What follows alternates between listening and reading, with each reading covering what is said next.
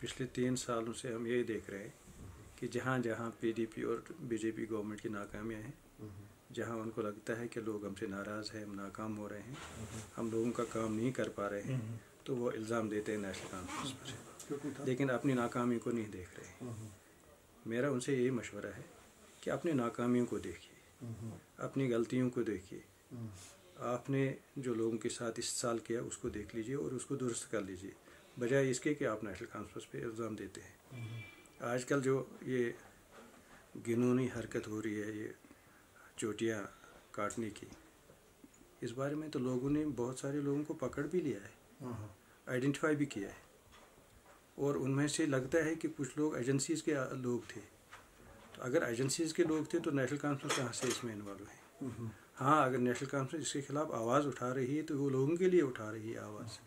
अगर PDP government या BJP और पीडीपी गवर्नमेंट को ये लग रहा है कि नेशनल कॉन्फ्रेंस में मुलविस है तो उनको ये भी देखना चाहिए कि नेशनल कॉन्फ्रेंस अवामी जमात है हम्म। अगर कहीं पे लोगों के साथ जुल्म हो रहा है हम्म। ज़्यादती हो रही है लोगों के साथ इस्ताल हो रहा है तो नेशनल कॉन्फ्रेंस का हमेशा फ़र्ज़ बनता रहा है और आज भी फ़र्ज़ बनता है कि वो लोगों के लिए आवाज़ उठाए इस चीज़ को अगर पीडीपी के लोग बुरा समझते हैं तो वो तो उनकी अपनी गलती है। उनको पहले अपनी आप को दुरुस्त करना चाहिए, अपने आप को ठीक करना चाहिए। और लोगों के साथ आजकल जो हो रहा है, ख़ासकर हमारी माओ और बहनों के साथ जो हो रहा है, ये तो कलंक है एक बदनुमा दाग है पीडीपी और बीजेपी की सरकार पर। बजाय इसके कि वो मुलजमान जो इसमें मुलविस हैं, उनको आइडेंटिफाई करे, उनको गिरफ़्तार करे, उनको सज़ा दे। उसकी तरफ़ कोई तवज्जो नहीं दे रहे हैं।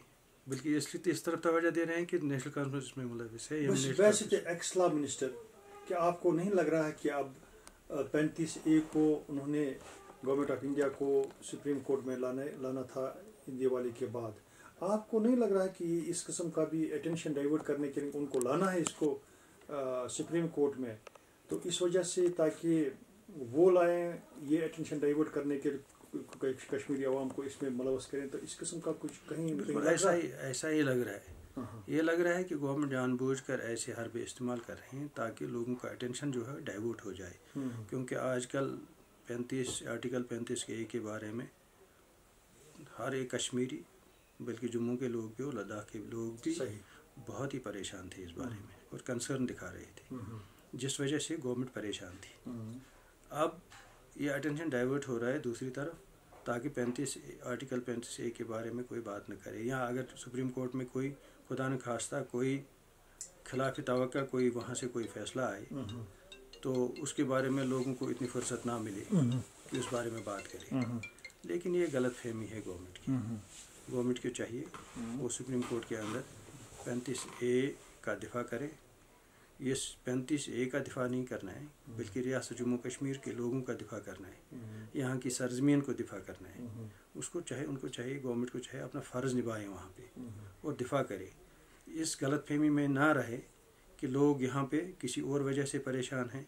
फिर अगर पैंतीस ए के बारे में कोई गलत फैसला आ गया तो शायद लोग खामोश रहेंगे ऐसी बात नहीं है।